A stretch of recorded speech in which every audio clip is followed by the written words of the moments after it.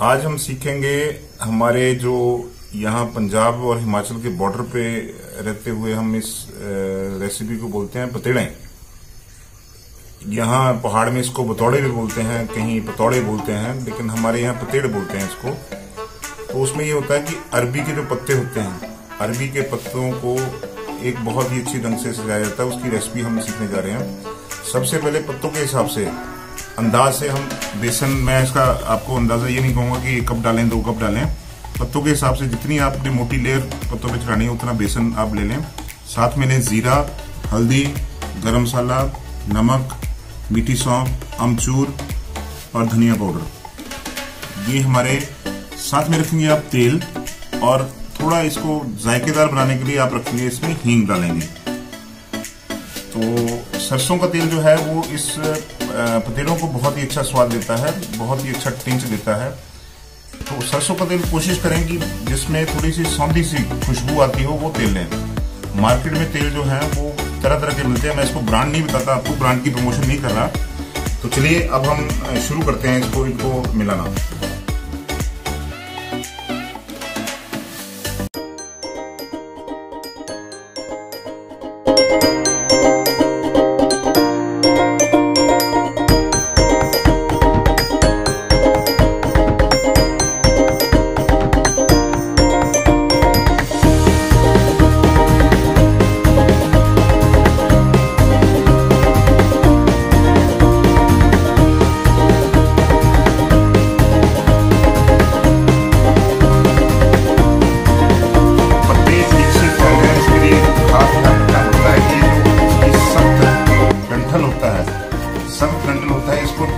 निकालना पड़ता है ताकि पत्ता फ्लैट रूप से किसी भी आप फ्लैट सरफेस पे, फ्लैट सरफेस पे जैसे कि मैंने थाली रखी है नीचे, इससे ऐसे फ्लैट सरफेस पे ये बिठाया जा सके ऐसे।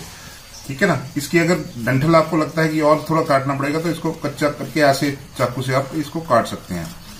ऐसे।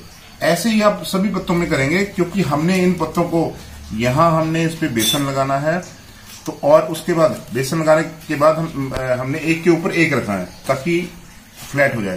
तो हमने हर पत्ते के डंठल को ये देखिए, ऐसे काट के और इसमें एक ऐसी, ऐसा कट लगा के। ये, इससे कट लगाने से ना ये पत्ता ऐसे फ्लैट हो जाता है। ठीक है?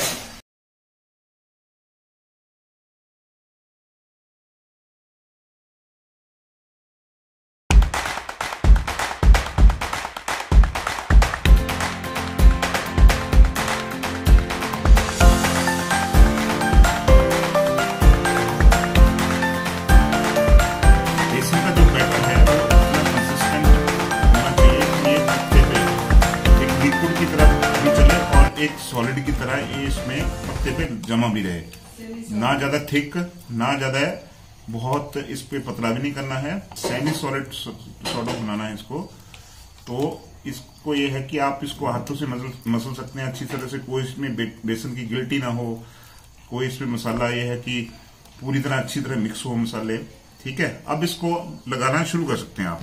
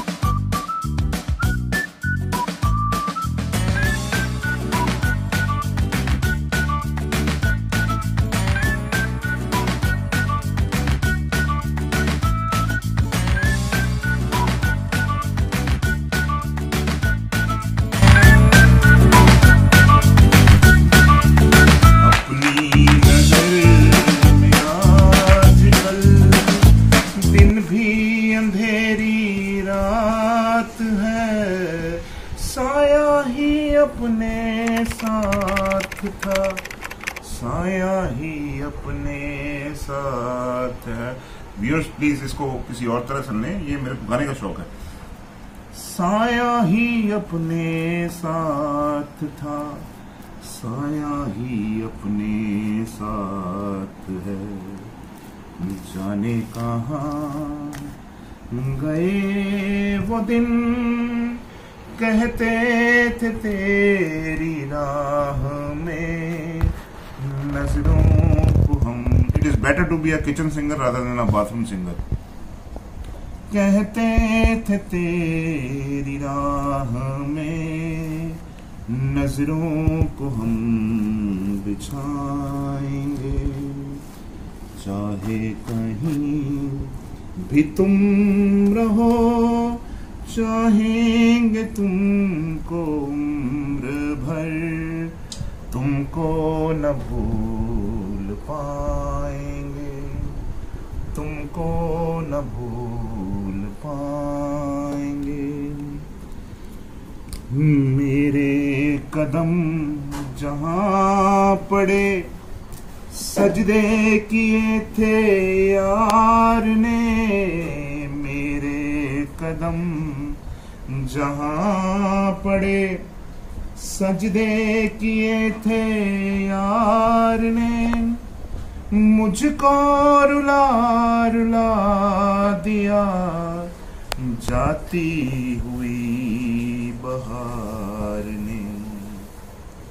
जाने कहा गए वो दिन कहते थे तेरी राह में नज़रों को हम बिछाएँगे। नज़रों को हम बिछाएँगे।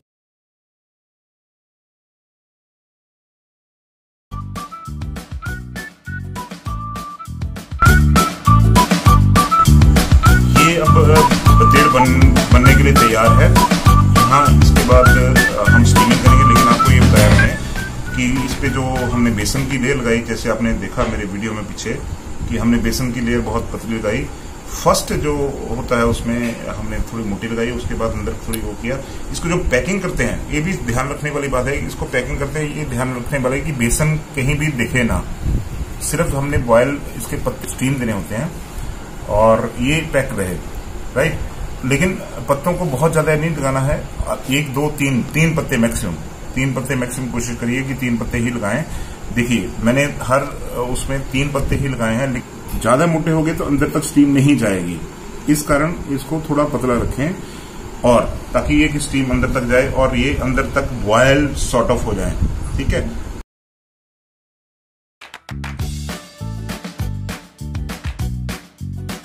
ये स्टीम आपने इसको सिर्फ़ ये 10 या 12 मिनट के लिए देनी है, ताकि इसमें सिर्फ़ ये सॉर्ट ऑफ़ स्टीम्ड हो जाए। इससे ज़्यादा स्टीम नहीं देनी है।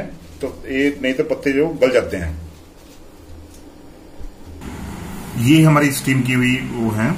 स्टीम करके इनको हमने मैंने क्या किया हुआ है कि मैंने इसको एक ठंडा होने के लिए फ्रिज में रख दिया था, क्योंकि एकदम स्टीम से उठाएँगे हम तो आपका ये थोड़ा पिघल, पिघलने टाइप का हो जाएगा। तो थोड़ा सा इसको ओवरनाइट इसको फ्रिज में रखें। फ्रिज में रखने के बाद, अब मैंने इसको ये देखो थोड़ा सा हार्ड हो गया है ये। हार्ड हो गए हैं। अब इसको हम जो इसका धागा हमने लगाया था, वो निकाल सकते हैं। इसको प्यार से निकालें धागे को, ताकि ये है कि बहुत ज़्यादा कटे ना।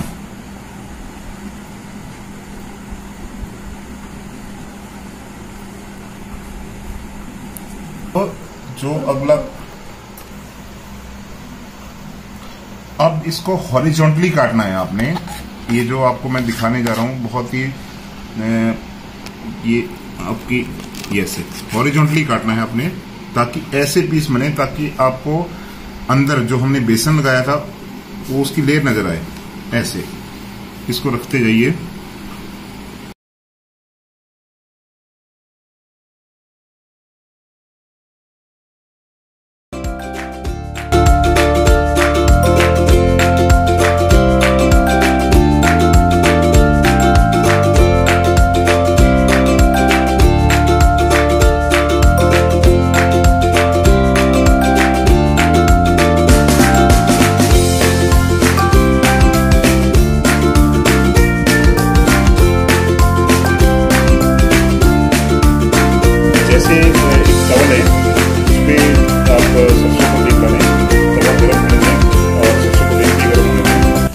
जैसे मैंने आपको पीस काट के बताए थे, ये पीसेस आपने वैसे रखने जैसे हम उसको तवा फ्राई कर रहे हैं। वैसे रखेंगे आप।